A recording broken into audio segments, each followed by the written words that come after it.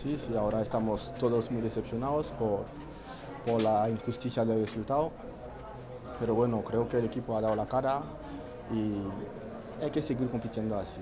Ese partido normalmente es un partido con tantos tiros, tantas ocasiones que tenemos que ganar. No ha podido ser, hay que seguir con la misma actitud.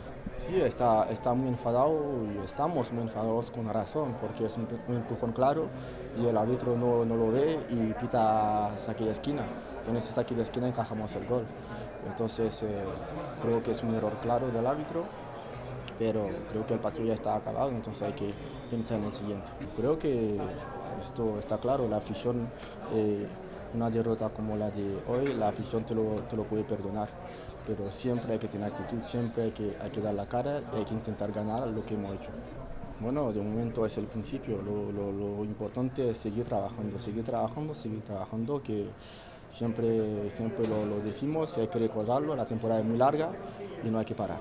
Sí, cada partido es dificilísimo y, y cada rival también es muy difícil, así que va a ser un partido muy complicado, pero vamos a ir para intentar ganarlo.